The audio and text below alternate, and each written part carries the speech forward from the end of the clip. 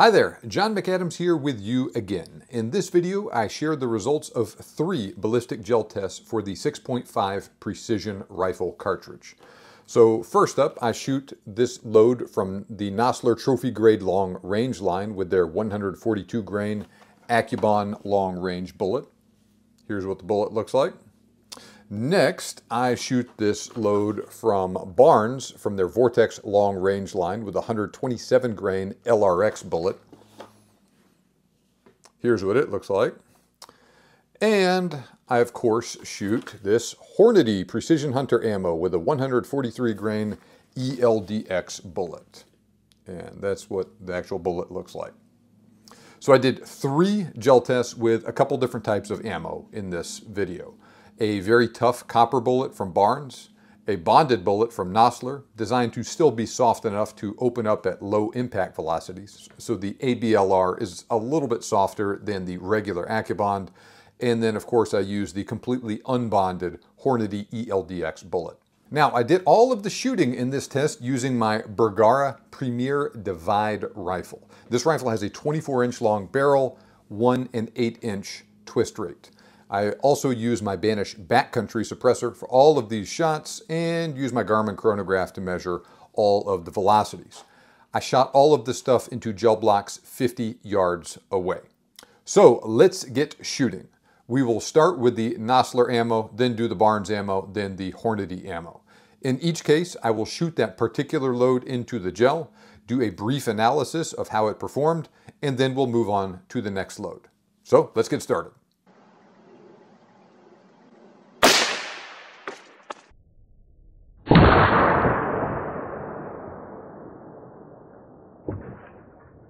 Okay, here's how the Nosler ammo did in gel.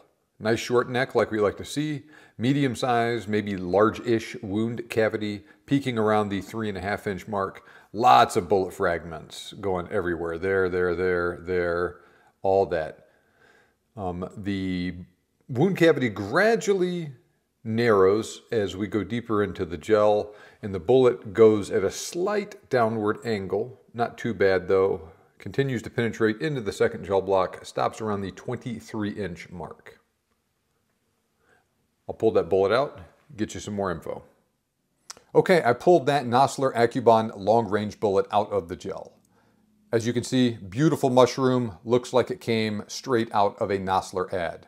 Weighed 88.4 grains, so about 62% weight retention, expanded to well over twice its original diameter.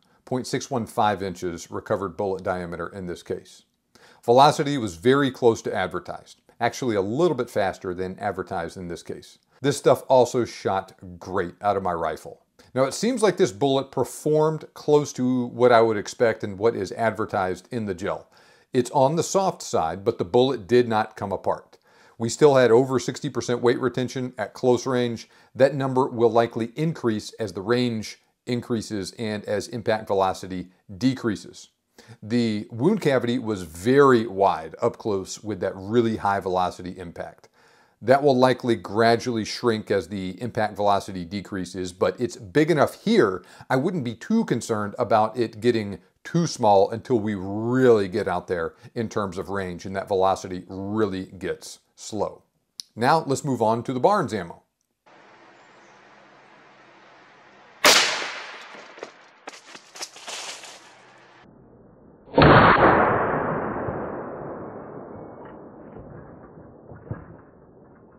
Here's how the Barnes loading performed in gel. Nice short neck, but not a gigantic wound cavity. I wouldn't say it is small, but certainly not as big as the ELDX or ABLR wound cavities. It does not have that distinctive football shape of the ELDX wound cavity in particular. Instead, this one starts off small and gets a little bigger and then is pretty elongated. And it certainly drops off in size as we get deeper into the gel, but there's still stuff going on until basically we reach the end of that first gel block. The bullet has deflected downwards a little bit, continues to go, penetrates completely through the second gel block, and then exits the gel right there, the side of it at about 33 inches of penetration. So I didn't recover this bullet, and I don't know what it looks like, but that is incredible penetration. So I'll measure all this stuff, get you some details. Now, like I mentioned, that bullet exited out the side of the third gel block, so I did not recover it. So for what it's worth, I did recover a 127 grain LRX I shot from a 6.5 Creedmoor in a previous test a long time ago. That bullet had essentially 100% weight retention and good expansion. It lost the polymer tip, but that was it. Now the this bullet coming out of the Creedmoor started out going about 200 feet per second slower than is the case in this, this test with the faster 6.5 PRC. So the petals perhaps might have peeled back a little bit farther on the 127 grain Barnes from the 6.5 PRC, but I'm guessing the bullet would likely look pretty similar overall. Now, the velocity was also a little faster than advertised with this Barnes 6.5 PRC ammo, but it's still right there with what was advertised. Now this ammo also shot great out of my rifle, very similar to the Nosler ammo in terms of accuracy. But this Barnes ammo delivered very different terminal performance though. I would not describe this as a small wound cavity, but the Barnes ammo definitely did not make as wide of a wound as what we saw with the Nosler AccuBond long range. Penetration was incredible with this stuff though, and it penetrated quite a bit deeper than the Nosler ammo. This is one of the best penetrating loads I have ever tested. Now, like I mentioned earlier, it exited the third gel block after about 33 inches of penetration. So I don't know how much farther it would have gone if it would have stayed in the gel blocks. It's really hard to keep them in the gel blocks when they go uh, real deep like that, but it went really deep. And for what it's worth, that 6.5 Creedmoor uh, 127 grain Barnes LRX ammo I talked about earlier, it delivered about 30 inches of penetration. So still really deep, just not quite as deep as the 6.5 PRC. Back to the 6.5 PRC though. Both of those things, the very deep penetration and the more narrow wound cavity, are both common traits of copper bullets like the Barnes LRX, TTSX, etc. Now, just because the wound was smaller than the wound the Nosler bullet delivered does not mean it is bad or it won't work. I actually used this exact ammo out of this rifle to kill an Axis doe in 2023. Not surprisingly, the bullet exited. I did place it properly, just a skosh behind the shoulder as a meat-saving shot, and it shredded her lungs.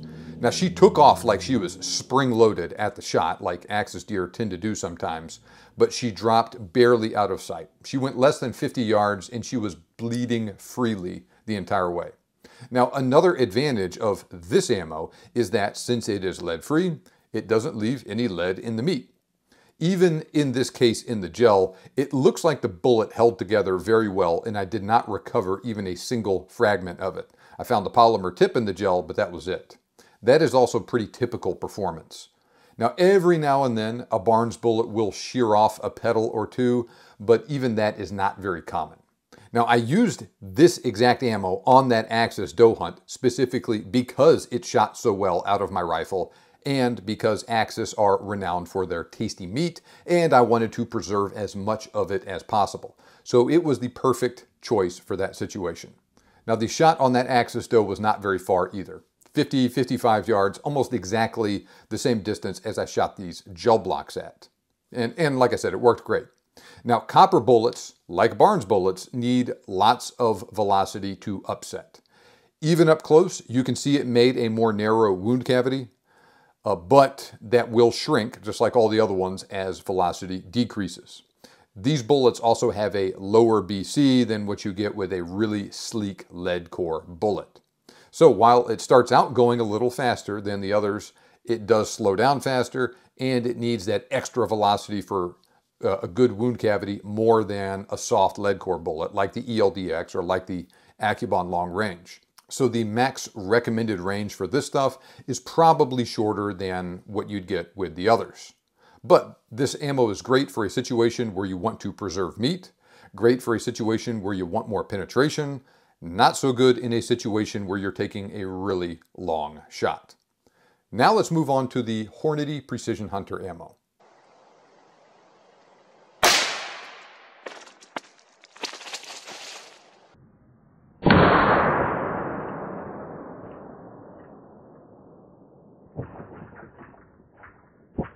Okay, here is how the Hornady bullet did in the gel.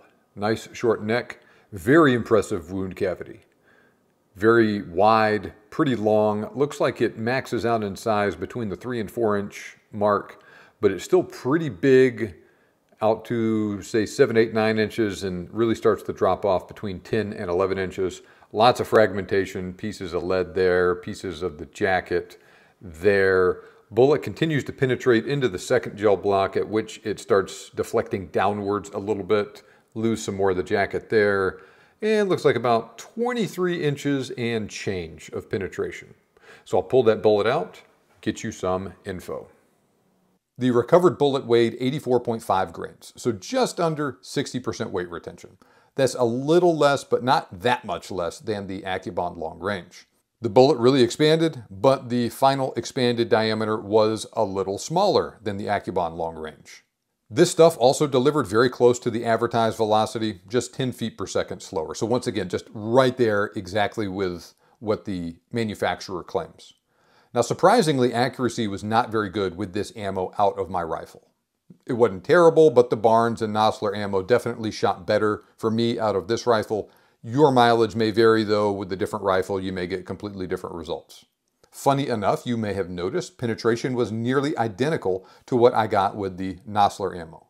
This isn't the first time I've seen this either. As a matter of fact, in every case where I have tested a Nosler AccuBond long range up against a Hornady ELDX for the same cartridge and of similar or the same bullet weights, penetration was either identical or the ELDX actually penetrated a little deeper.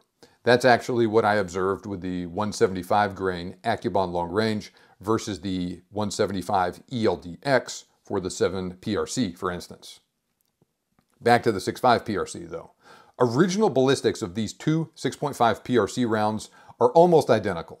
Both bullets are designed for the same purpose though. They're soft enough for good expansion at lower impact velocities, but Supposedly, they are both tough enough not to come completely apart up close. These two bullets go about doing that in a slightly different manner though, but the end result is pretty darn similar.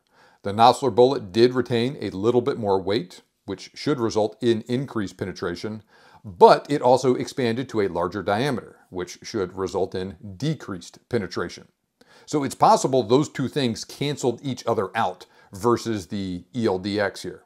Though it is true, one could definitely make an argument the bonded AccuBond long range will potentially perform better versus something like a bone than the softer ELDX. All in all, both bullets delivered very similar performance. Penetration was almost identical. The ELDX made a wound cavity that is a little wider. Both were big, the ELDX was a little bit wider. Now compared to the Barnes load, the ELDX did not penetrate nearly as deep, but it made a much wider wound cavity. I mean, this was a very impressive wound cavity, and it would cause a lot of damage to the vitals of an animal if placed appropriately. Lots of fragments in the gel though. On one hand, those fragments cause even more damage, create their own little wound channels radiating outward from the main track. That wide wound track combined with those secondary fragments will help kill an animal faster. On the other hand, they do ruin more meat. So take all that for what you will. Now, as I've said in the past, results in clear gel like this don't normally translate one-to-one -one into real-world situations on game. Bullets tend to penetrate better in clear gel, but they don't make as large of a wound cavity in clear gel like this versus on a real-life animal. So the results should be taken as a general trend. I'm not saying that if a bullet penetrates X number of inches in gel, that it will penetrate exactly that far in real animals from every angle, regardless of what it hits. It's that if a bullet demonstrates wide, shallow penetration in gel, it will also probably produce wide, shallow penetration in animals. The same is also true with narrow, deep penetration the general shape and characteristics of the wound will probably also be similar. Likewise, if bullet A penetrates better than bullet B in gel, well, that's probably going to be the case in an animal as well. The same will also probably be true for a bullet that holds together better in gel. So take all that for what you will. Let me know your thoughts on this subject. Have you used the 6.5 PRC afield with any of this ammo? How did it perform for you? I welcome your feedback. Likewise, leave a comment on this video and let me know the cartridge bullet combination you would like me to use in the next gel test I publish on YouTube. So far, I have published a bunch of other gel tests. They're all on a YouTube playlist for you to peruse. So I'm open to suggestions from you on what else you want to see in the future. Now, if you enjoyed this video and you want more content along these lines, visit huntingguns101.com. Sign up there for a free ebook on the best hunting calibers. I've also put a link to where you can get that ebook in the video description and in the pinned comment. So thanks for watching. Have a great day and good hunting.